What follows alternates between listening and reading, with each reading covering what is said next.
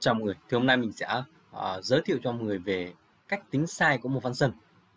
Thì uh, bình thường mọi người muốn copy một cái function lên một cái chỗ nào đó đúng không? Thì mọi người phải cần phải biết là địa chỉ bắt đầu của function đấy này và uh, và size của function đấy. Uh, mọi người cần phải biết hai thông tin đấy. Thì mọi người với là copy từ fun, function đấy lên cái chỗ nào mà mình mong muốn được. Địa chỉ bắt đầu của function thì mình biết rồi đúng không? Uh, bây giờ làm nào để mình tính được cái size của một function thì bài hôm nay mình sẽ uh, chia sẻ cho mọi người về cách tính size của một function và cũng như là một cái bài tập để mọi người có thể là uh, dựa vào đấy mọi người sẽ tự mình là copy một cái function này function từ flash đúng không? Ví dụ mình đang để cái function này ở, ở flash mọi người sẽ thể copy function này lên giam và uh, đặt một cái function một con chọn pointer đúng không? Chọn vào cái vùng giam đấy và execute ở đấy thì uh, làm nào để mình có thể là tính được sai của function uh, ờ, bình thường muốn tính sai của một cái thằng uh, biến bình thường thì mình chỉ cần là sai hợp đúng không? Thì nó sẽ ghép ra được cái sai. Nhưng mà đối với function đấy thì mình không thể dùng sai hợp được. Thì ở đây sẽ có một cách này đúng không? Là uh, mình sẽ tạo một cái section cho cái cái cái function mà mình muốn đo. Ví dụ ở đây mình muốn đo cái function là GPO config này. Mình tạo một cái section là GPO code đi hoặc là cái tên gì đó đúng không? Chấm gì đó và uh, tại linker ấy mình sẽ uh, mình sẽ thêm một cái đây chấm tách này đúng không? Và một cái section đây. Ờ, uh, setting GPO chấm tách đây.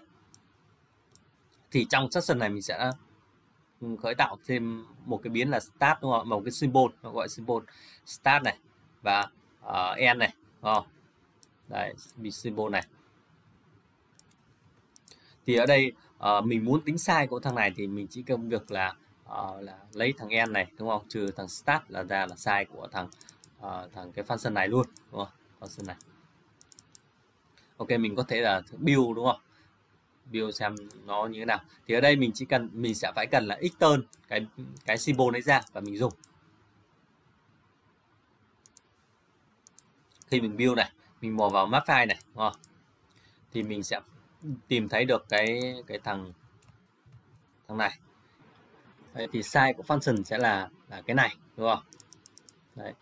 và đây là sẽ là cái địa chỉ bắt đầu của nó và đây là cái địa chỉ kết thúc của cái function này Đấy. thì nó sẽ lấy cái uh, end đúng không trừ cái start này nó sẽ ra là cái cái size của function Đấy. thì ở trong code của mình ấy mình sẽ ờ, uh, external cái external hai biến này xong là trừ đi và tính được size function ờ, uh, GPO này mình thử xem là có đúng bằng với lại 0x54 không. À, nó cũng khá đơn giản thôi. À,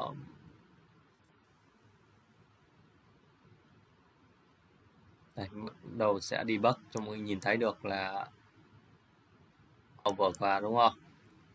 Over này. Để mọi người nhìn thấy nó sẽ là 0x54 này. Đúng không? mình có thể tính được biết được cái size của cả cả cái function này là 0x54 byte. Thì uh, mình uh, ở đây mình có thể nhìn thấy được là địa chỉ bắt đầu của của function thì mình biết đúng không? Chính là cái thằng start này chính là cái thằng à, uh, biến này chính là cái địa chỉ bắt đầu function đấy. Và mình biết được cái địa chỉ bắt đầu rồi mình biết được size rồi. Uh, và mình muốn copy vào vùng giam nào mình muốn đúng không? Thì ok đúng không? Đều mình làm được đúng không? Đấy thì ở đây mình cũng cũng nói thêm là cái cái đoạn mà keep này. À, keep ở trong cái linker nó có thỉnh thoảng mọi người nhìn thấy có từ keep này không, tại sao cần kíp này? Thì uh, như mọi người biết đấy mình uh, lập trình ra được cái GPO ấy nhưng mà mình không dùng. Không? giả sử ở đây mình có thể tắt này đi. Ở đây mình không dùng ở trong main. Mình lập trình ra mình nhưng mình không dùng không? thì thằng compiler ấy nó sẽ có một cái option lựa chọn là nếu mà không dùng thì nó sẽ là xóa luôn.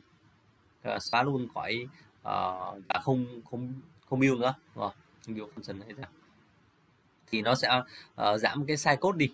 Không? không dùng mà tại sao lại phải là phải là, là phải lập trình ra làm gì? Đấy thì nó sẽ uh, bị xóa ngay. Mình có thể kiểm chứng bằng cách là mình build này. Uh, mình build này. Mình sẽ check lại xem function này hiện tại có build không. Có được build ra trong nắp file không có nhỉ? bởi vì là thực tế là uh, là mình không dùng nó đúng không? Mình không dùng nó nếu mọi người thêm cái lệnh mà keep cái cái cái này này à, keep cái cái section này thì nó sẽ là giữ lại function này vẫn build ra. Trong các file. Đấy. hoặc là mình có thể gọi ở đây thì nó sẽ được build ra này bởi vì mình đã sử dụng nó. Đấy thì cái ý nghĩa của cái cái keep này. À, mình có thể thử xem như thế nào. À, ở đây ví dụ mình thử ở đây đi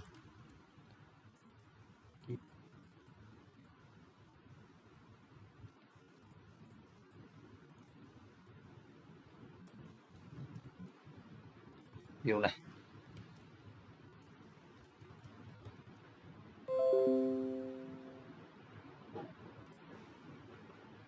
mình xem uh, đúng không? Khi mình uh, mình kíp ấy thì nó sẽ là uh, đây điều ra cái cái GPO đúng không?